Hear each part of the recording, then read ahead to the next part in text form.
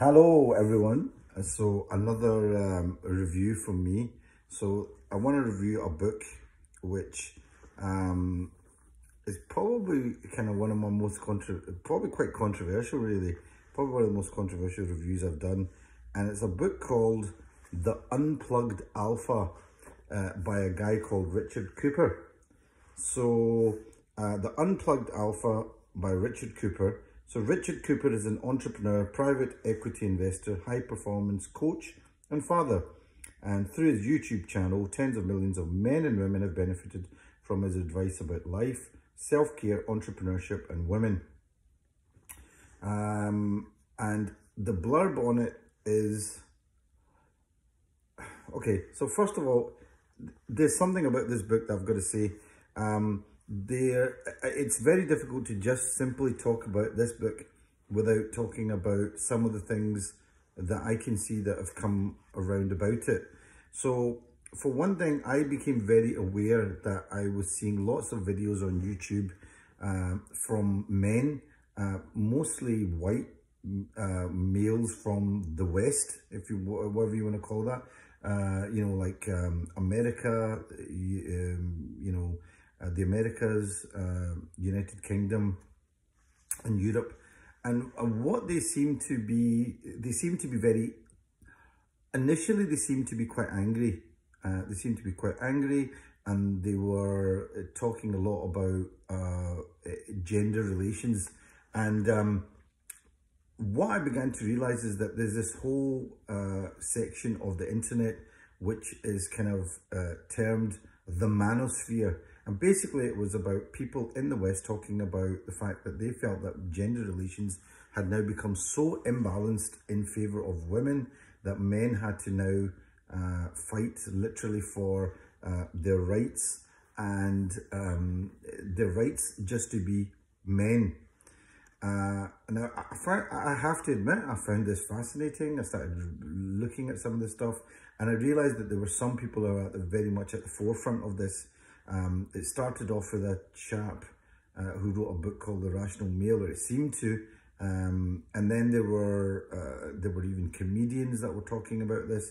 And then um, I saw this chap, Richard Cooper, um, who has um, uh, various videos and, and I must admit I've, you know they're very interesting so I got this book and I read it and by the way this also takes into uh, I think I count this chap called Andrew Tate uh, who um, has actually been banned on the internet um, I think a bit unfairly but you know um, this seems to sort of be in the same sort of ballpark so reading this um, where do I start? Um, essentially, it's it's it's kind of like a call to arms to for for to men to be men and to put um, their what he feels is their rights first, and that men have been unfairly treated, and and very much uh, there's this feeling that they've been unfairly treated in the West. Um, so one, it's it's about men not being uh, I mean, I'll read the blurb on the back um, and what he thinks. He thinks that most men today are sent off into society with a broken belief system, which they use to make choices that get them terrible results with life and women. Men have been conditioned to be the quintessential nice guy. They're trained to be overly humble, kind to a fault, and that just being themselves, eh, being themselves is enough to attract the women of their dreams. Men are told to believe that conventional masculinity is toxic and to put women ahead of their own interests, passions, and purpose. And he feels that this has led to an entire generation of men forming very unhealthy attachments to women that they unfortunately often make the sole focus of their lives. Uh, the playbook to women in life has changed, but most men miss the memo. Do you want to succeed and level up in every area of your life? So essentially what he's saying is, uh, you know, and there's, there's a lot sort of packed into this book but, um, you know, one of the things, there's lots of things that he says that I see being repeated in, um, on all these videos. So there's things like about men, it's about chasing excellence, not chasing women. Uh, he talks about things that I'd never really thought about before, uh, about uh, men and female relations. And a lot of them are rooted in what is probably just basic biology. You know, men um, have a certain reproductive cycle, women have a certain reproductive cycle, and there's a point where that reproductive cycle is going to end, and there's peak times for that, and there's and that this has a big influence on the way that men and women uh, live their lives. Uh, you know, he talks about things that a lot of people, unless you've actually been sat down and thought about it, you might not realize. I mean, a lot of men often do think that they didn't get, um, you, they weren't very successful with women up to a certain stage in their lives.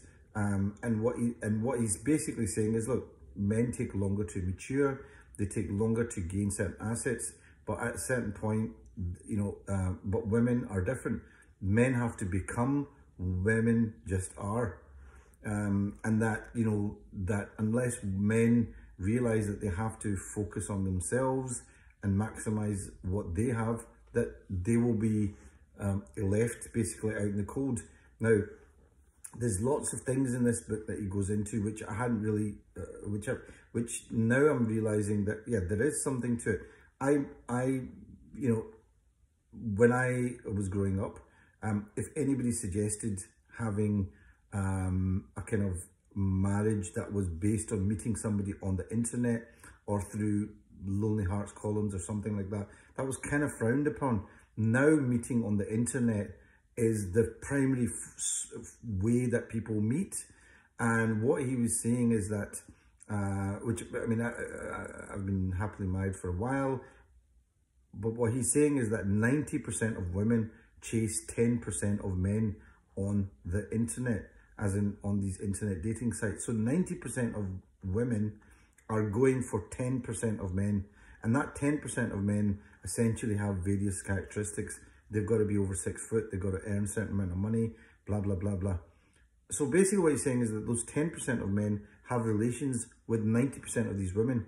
They're mostly uh, basically messing around with all these other women. And the 90% that are, are, are out there are basically left on their own. And actually what he's talking about is a lot of these women, men are left on their own and sexless, which brings me to another point that he comes up about, there's a big movement of men who are saying, I don't want anything to do with women. And they actually have an abbreviation, MGTOW, men going their own way. So they, and there's a big thing about this. I didn't realize this was a thing. Um, but I think what it reflects is a dissatisfaction that men have with the way gender relations are. And part of it is also things like the divorce laws. Um, they think that they're way too heavily uh, um, uh, weighed for women. Um, and he sort of goes into this. And essentially, a lot of these movements actually say, don't get married. Uh, they actually say, do not get married. It's weighed, it's so heavily weighted in favor of women. Uh, and men are going to be the losers here. I mean, again, there's, there's, you know, I'm not saying I agree with that, uh, but I can certainly say that I can see why there does seem to be, there's this question of toxic femininity that keeps coming up, which he says that men are now reacting against, and they're just asserting what they are themselves. So that's interesting. Um, there's, I mean, there's so much out there that I've seen in the internet. Like he talks about um, things that he calls red flags, uh, which were interesting. And he says basically you know, and the, reason he calls them, he, calls them red flags. He says if you see them, this in women, avoid them. Uh, and they, and these are basically, I think, women. They're talking about uh, on the in the terms of the dating game. Um, and and he's very clear about certain things. He says, look, avoid women who are single uh, and who have children. Uh, and he says things that I've not heard somebody in the West say before. Like he talks about lineage. He says if you are going out with a single woman, you are going to be, you're going to get all the responsibility and have zero authority. In other words, you'll be responsible for maintenance, money, everything else, but you will have no authority over that child. And the mother will always put that child first and actually think of you as nothing when it comes into a conflict. And and he says that men are not thinking about these things. Kind of interesting. Um, he talks about. I mean, there's lots of things in here that he talks about. Um, uh, but I think what I think is interesting is that this is not just a book on its own. This seems to be part of this movement of men who basically, and it's mostly white uh, males in the West who are saying enough's enough, that this, that the system is weighted against them, which I'd never really thought about. Um, but uh, I mean, that that's the that's the that's the way they look at it. There's things that they talk about, like I, like I said, like he talks about, um, which I'd never thought about, and he calls it. There's one thing he calls um, polyandry, uh, which I hadn't thought about, and it's basically, was it was it polyandry? Uh, I may have got that wrong. Um, it's the idea that women will always be looking for the better deal, um, the bigger, better deal. And he, he's quite disparaging the way he says so. I know people have something to say about this. He talks about monkey branching, that women will basically always be on the lookout for the bigger, better deal, and that women are not. Um, and yeah, they, they, go into some of the stereotypes about women being more emotionally driven, uh, men being more logically driven, um, and that these are things that we will ignore uh, to our peril if men don't understand those things um, and those gender differences. And they're rooted, and he believes that they're rooted in biology. Um, there was an interesting thing that he talked about, which I hadn't even considered. He was saying that, you know, back in the days of old, uh, where tribes would um, uh, maraud other tribes, you know, the men would be killed, even the boys would be killed, and the women would be kind of almost taken into slavery and women have evolved to basically deal with that. And that's what he's so that's what he's basically saying that's where it comes from.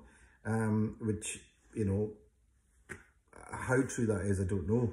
Uh, but he's but he's saying that men have to understand that female nature is very different from male nature and if they don't understand that and if they think they can just be themselves they're saying he's saying no you can't be yourselves you have to um, be the best version of yourselves. Otherwise, you'll be left on the scrap heap.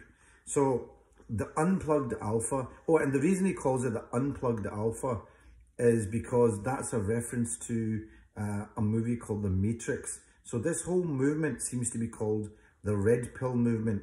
And the red pill movement is there's a scene in The Matrix where the guy, uh, um, uh, the, the Keanu Reeves character is plugged into this computer program.